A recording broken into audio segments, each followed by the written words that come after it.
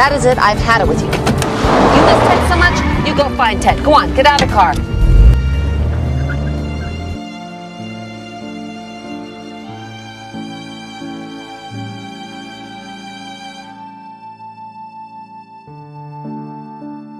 I'm bigger and I'm faster. I will always beat you. Then I'm not gonna play with you anymore. Ever! I know what is best for you because I am your mother. What a pile of shit. Greetings, guest. Welcome to the Patriarchy, where we explore cinema classics fueled by predictive Hollywood programming and unpack how our favorite characters in cinema got egg all over their faces. I am your commentator, Dom, and tonight we're unpacking some of the most toxic mothers in film, featuring Mommie Dearest, Precious, Drop Dead Fred, and Anywhere But Here. Why can't you give me the respect that I'm entitled to? Because I am not one of your fans! Mom, the matriarch of every family, the center of every child's universe. She's a caretaker, a nurturer, the peacemaker, a magician, the one who always finds a way, the woman known for making something out of nothing, and she's so much more. But some children aren't so lucky. For some, they experience a relationship full of turmoil, competition, criticism, haste, suffocation, and regret. And in celebration of Mother's Day this year, we're taking a look at some of the most notorious moms in film and how their particular type of mothering led to, well, see for yourself. What are you doing? Don't you Oh, tell Mommy, me what don't. I'm doing. Oh, don't tell me. Don't. Oh no! Mommy, I look awful! Yeah, I know you look awful. You be quiet. You're always rummaging through my drawers, trying to find a way to make people look at you. Why are you always looking at yourself in the mirror? Why are you doing that? Tell me.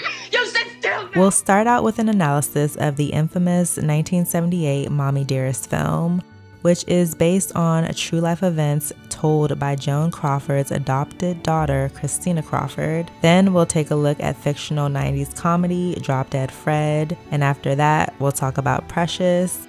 And we'll end on a lighter note by looking at the mother daughter relationship in Anywhere But Here, which is free to watch on YouTube if you haven't seen it already. So, Mommie Dearest, the competitive mom. Mommie Dearest made its debut on the big screen in 1978 and was based off the novel Mommie Dearest, written by Christina Crawford, who is the adopted daughter of Hollywood actress and star Joan Crawford.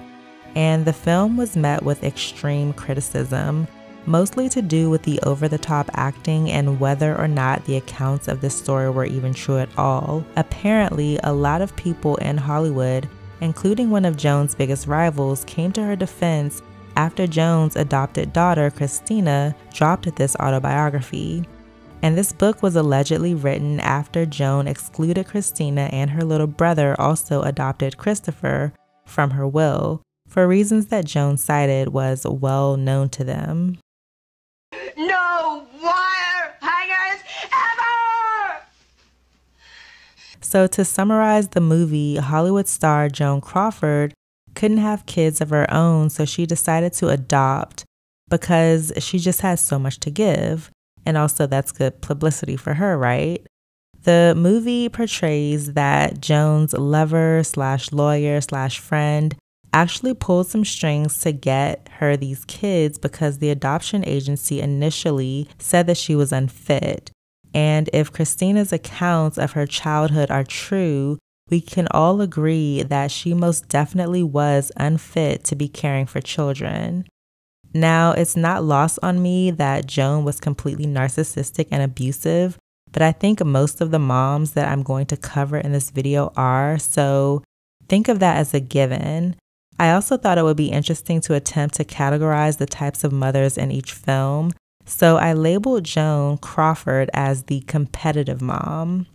Now, what's a competitive mom? According to Mom Tribe, which outlined an article on 15 types of moms, the competitive mom is a woman who happens to also be a mom, unfortunately, that simply cannot stop themselves from wanting to one up their children. They cannot be second best. They also tend to be pageant moms that push their kids into activities that they have absolutely no interest in. So, in the film Mommie Dearest, it's so obvious that Joan is not only extremely abusive, but was competing with her daughter throughout her entire childhood and even into adulthood. Joan competes with her daughter in so many ways. There was the standoff over the bloody steak Christina didn't want to eat. When Christina was in grade school, there was the swimming incident where Joan knew that she could beat her six year old in a swimming race, but challenged her anyway and then rubbed it in her face after winning. You lost again. Then, traveling forward to when Christina is a grown adult trying to carve out a career for herself, Joan, who was like 50 or 60 years old at the time, takes her daughter's job as a 20 something year old character on a soap opera while Christina was sick in the hospital. And again, if the accounts are true, she even one ups her daughter in death by leaving Christina completely out of her will, penniless. It's like Joan, like a lot of these moms we're discussing today, felt like she always needed to keep Christina in her place. In the film, you could just see how Joan was always trying to humble her. A parent is supposed to hype you up, not put you down. And it's just so weird how Joan has this great and lavish life and claims that she adopted her kids to share this life and her wealth with them. But she really just resents her daughter and wants her to try and make it on her own. It's so ridiculous. If you have a mom like this, I'm sorry. I don't know what advice to give other than to get therapy. And if you're in the thick of it, meaning you're still under her roof, disengage, don't compete, don't play into it, become a gray rock, and hope that she finds you boring and lifeless enough to go and compete with someone else. Drop Dead Fred, the helicopter mom, and the mom who had a child to save a marriage. Drop Dead Fred is a quirky, dark comedy that came out in 1991 and follows the life of a girl named Elizabeth and her imaginary friend, Drop Dead Fred. So, because this is the mom episode, we're going to try and refrain from talking about how awesome this movie is and try and focus on the relationship that Elizabeth has with her mom, Polly. So, I'd classify Polly as your typical helicopter mom. And if you don't know what that is, helicopter parenting generally refers to those who have an over involved and very overprotective parenting style. Now, how can a parent be too involved? Well, I'd say that if one's parents are still trying to pull the strings in their life as a fully functioning and grown adult, I think that can be classified as over involvement. And this was the case with Elizabeth and Polly. Now, while Polly is strict with Elizabeth as a child, as an adult, she's completely overbearing, mostly in the realm of trying to dictate Elizabeth's romantic relationship with her husband.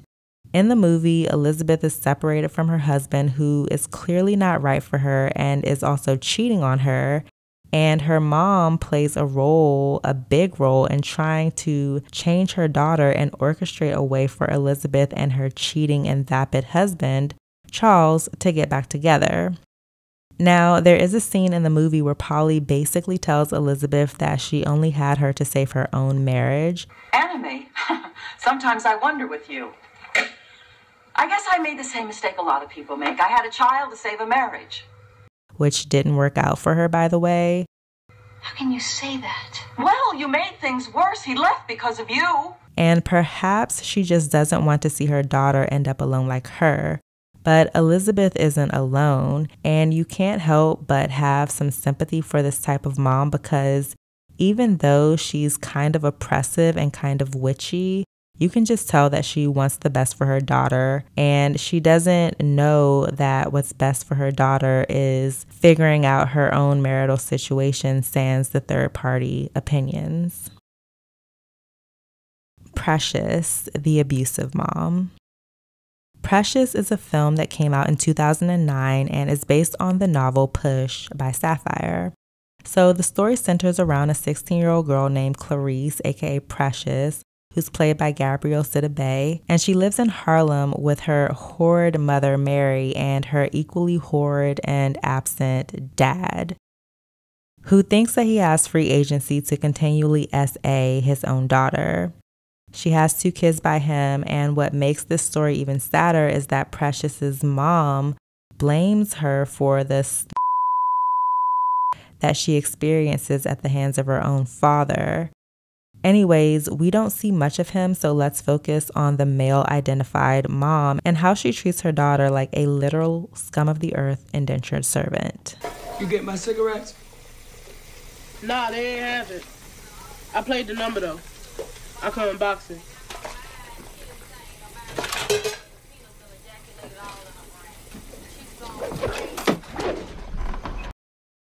This is an example of someone who should have just given her kid up for adoption. She obviously doesn't want her and even tells her daughter that she should have aborted her, yet keeps her around for what one could only suspect for the purposes of having someone to punch down on and get a check off of. All abusers are like that, though, right?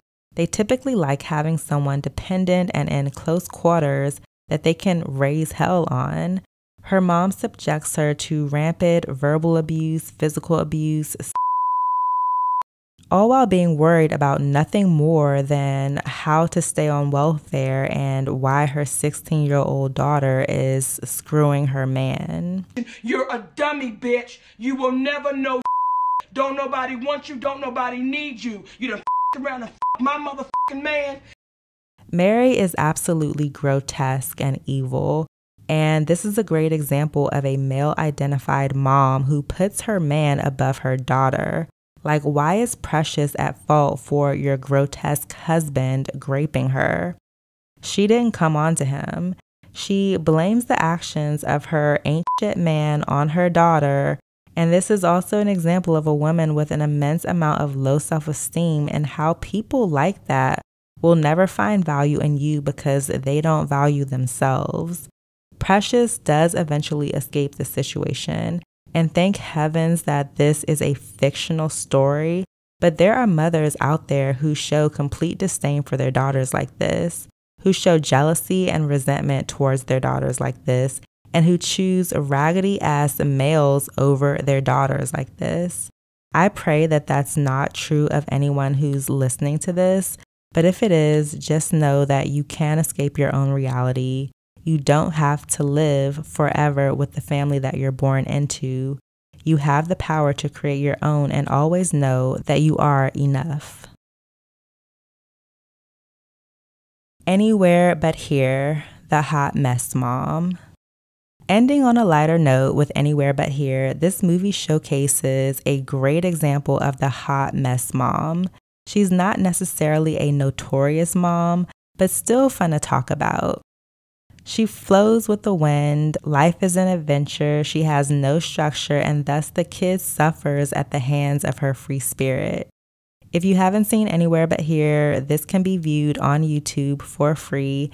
And it's a wonderful story about a mom named Adele who picks up and leaves her good and safe Midwestern husband and their good and safe Midwestern town to move to LA with her teen daughter, Anne. Why? Simply because she's bored. She doesn't want her and her daughter to be quote unquote ordinary and has no plan and skates by in life on a whim with her charms. That is beautiful. Mom, it's Come by on, honey. appointment only. It's all right. It says do not disturb I know. occupants. When they get to LA, they're staying in a crappy apartment. She forgets to pay the bills half the time. And she has these manic breakdowns and uses these instances to control her daughter. She tries to push her daughter into acting as well. I mean, Anne's mom means well, but she's a hot mess. Luckily, Anne, played by Natalie Portman, is very bright and has a lot of tact and intelligence to manage her mom, and eventually escapes this wayward way of being when she gets accepted to a college on the East Coast. But that's exactly how these relationships with hot mess parents pan out.